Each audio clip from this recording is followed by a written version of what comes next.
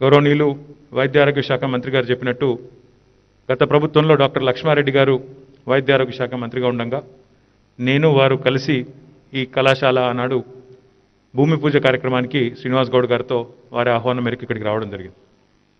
వచ్చినప్పుడే అనుకున్నాం ఇంతటి చక్కటి వాతావరణంలో ఒక బ్రహ్మాండమైన గుట్ట మీద ఎదురుగా మీకు అద్భుతమైన ఎకో పార్క్ ఉంది.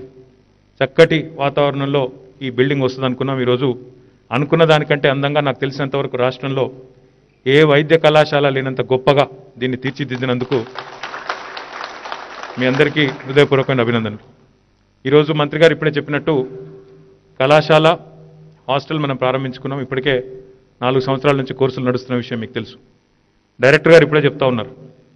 సార్ గాంధీ తర్వాత ఉస్మానియా తర్వాత డిస్టింక్షన్లో ఫస్ట్ క్లాస్లో పాస్ అయ్యే విద్యార్థుల్లో మా వాళ్ళే థర్డ్ ప్లేస్లో ఉన్నారని చెప్తా ఉన్నారు. చాలా చాలా సంతోషం.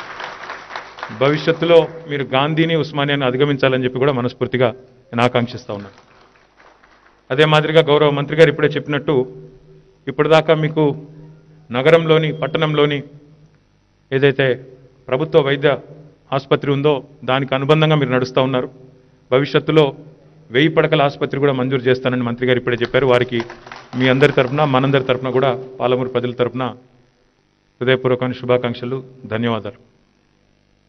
ఇలాంటి అద్భుతమైన సదుపాయాలు తెలంగాణ రాష్ట్రం ఏర్పడిన తర్వాత గౌరవ ముఖ్యమంత్రి కేసీఆర్ గారి నాయకత్వంలో ఇప్పుడే పెద్దలు హెల్త్ మినిస్టర్ గారు చెప్పినట్టు ఐదు చోట్ల మహబూబ్ నగర్లో మొట్టమొదటిది తర్వాత మన నల్లగొండలో సూర్యాపేటలో సిద్దిపేటలో అదే మాదిరిగా బీబీ నగర్లో నల్లగొండ జిల్లాలోనే బీబీ నగర్లో ఈ రకంగా ఐదు చోట్ల మనం బ్రహ్మాండమైన కొత్త ఆసుపత్రులు దాదాపు నాలుగు వేల పైచిలకు పడకలు.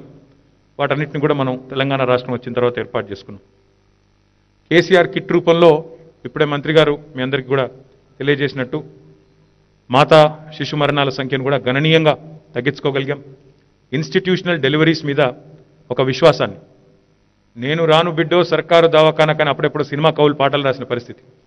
అట్లాంటి పరిస్థితి నుంచి ఈరోజు నేను సర్కార్ దవాఖానకి పోతాను. అక్కడనైతే అక్కడ ప్రసూతి అయితేనే మా ముఖ్యమంత్రి కేసీఆర్ గారు పేరిట పెట్టిన కేసీఆర్ కిట్ నాకు వస్తుంది. అందులో తల్లికి బిడ్డకు సరిపడా వస్తువులన్నీ ఉంటాయనే ఒక విశ్వాసాన్ని కలిగించి ప్రతి ప్రతి ప్రభుత్వ ఆసుపత్రిలో నలభై నుంచి యాభై శాతం దాకా డెలివరీలు పెరిగినాయంటే అది ఖచ్చితంగా తెలంగాణ రాష్ట్ర వైద్య ఆరోగ్య శాఖ మంత్రి గారికి వైద్య ఆరోగ్య సిబ్బందికి నర్సింగ్ స్టాఫ్కి ఆ ఘనత కూడా మీకే దక్కుతుందని చెప్పి నేను తెలియజేస్తా ఉన్నాను ఇంకొక మాట కూడా ఈ సందర్భంగా చెప్పాలి. కేవలం మాతా శిశు మరణాలు ప్రసూతులే కాదు. తెలంగాణ రాష్ట్రం ఏర్పడిన తర్వాత ముఖ్యమంత్రి గారి నేతృత్వంలో ప్రజారోగ్యం పట్ల కూడా విపరీతమైన శ్రద్ధతో ప్రపంచంలోనే అతిపెద్ద ఐ స్క్రీనింగ్ క్యాంప్ కంటి వెలుగు అనే కార్యక్రమం పేరిట రాష్ట్రంలోని కోట్లాది మందికి ప్రతి గ్రామానికి పోయి గ్రామాల్లో కంటి వెలుగు పేరిట క్యాంప్ నిర్వహించిన ఏకైక ప్రభుత్వం కూడా భారతదేశంలో తెలంగాణ ప్రభుత్వం మాత్రమే. ఇంకా చేయవలసిన పని చాలా ఉంది. వైద్యం విషయంలో ఎందుకంటే ఈరోజు వైద్యం విద్య ఈ రెండు రంగాల్లోనే సామాన్యుడు మధ్యతరగతి మనిషి ఇబ్బంది పడుతున్న ఈ రెండు రంగాలు.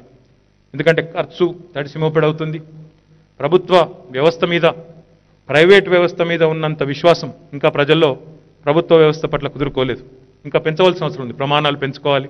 ఇంకా మనందరం కూడా సమిష్టిగా కష్టం చేయాల్సిన అవసరం ఉంది. ప్రజల్లో ఆ విశ్వాసాన్ని పాదుగొల్పోవాల్సిన అవసరం. మరింత దృఢంగా ఆ నమ్మకాన్ని పెంచవలసిన అవసరం ఉంది. ఈరోజు మీరు చూస్తూ ఉన్నారు కోవిడ్ వచ్చిన తర్వాత కోవిడ్ నైన్టీన్ వచ్చిన తర్వాత పేపర్లలో కొన్ని వార్తలు చూస్తే హృదయ విదారకంగా అనిపిస్తుంది. ప్రైవేట్ ఆసుపత్రికి పోతే ఐదు ఆసుపత్రులు వెళ్ళగొడుతున్నాయి. ఐదైదు ఆసుపత్రులు. పోతే డబ్బులు కడతామంటే కూడా మేము చేర్చుకోము పడకలేవు అని పంపిస్తున్న పరిస్థితి. ప్రైవేటు వైద్య రంగం తిరస్కరించినా ఈరోజు ఆ కోవిడ్ పేషెంట్స్కి అండగా నిలబడ్డది ఎవరు అంటే ఖచ్చితంగా ప్రభుత్వ రంగంలోని హాస్పిటల్స్ ప్రభుత్వ రంగంలోని వైద్యులు అనే మాట కుండబద్దలు కొట్టినట్టు చెప్పక తప్పదు. నేను మా మీడియా మిత్రులను కూడా కోరుతా ఉన్నా. ఇది మొత్తం మానవాళి ఎదుర్కొంటున్న ఒక క్రైసిస్. ఒక తెలంగాణ రాష్ట్రానికి పరిమితం కాలేదు భారతదేశానికి పరిమితం కాలేదు. ఒక దీనికి ఒక రాజకీయ రంగు లేదు ఇంకోటి లేదు ఏది లేదు. మానవాళి మొత్తానికి మొత్తంగా ఒక విపత్తు అనుకోని విధంగా వచ్చి మన మీద పడ్డది. పడ్డ తర్వాత శక్తి వంచన లేకుండా ఎవరి ప్రయత్నాలు వాళ్ళు చేస్తూ ఉన్నాం. గడిచిన నాలుగు నెలలుగా నాకు తెలిసినంత వరకు ఈటల రాజేందర్ గారు ఏ రోజు కూడా మూడు నాలుగు గంటల కంటే ఎక్కువ పడుకున్నాడని నేత అనుకోను.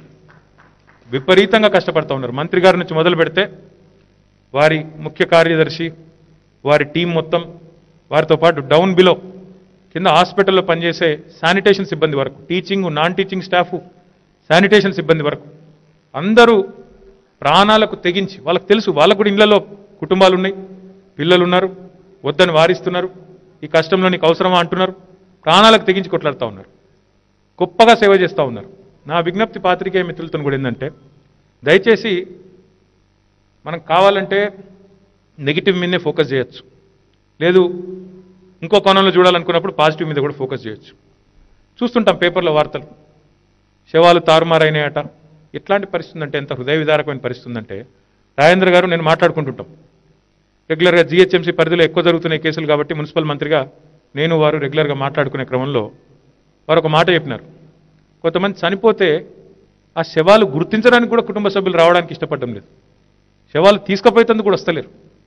కాబట్టి చాలా రకాల విపరీతమైన పరిస్థితులు. మనం జీవితంలో ఊహించని కొన్ని పరిస్థితులు కూడా ఈరోజు మన కళ్ళ ముంగట కనబడతా ఉన్నాయి. దయచేసి ఇట్లాంటి కష్టకాలంలో విపత్తు వచ్చినప్పుడు మనందరం సమిష్టిగా ఎదుర్కోవాలి.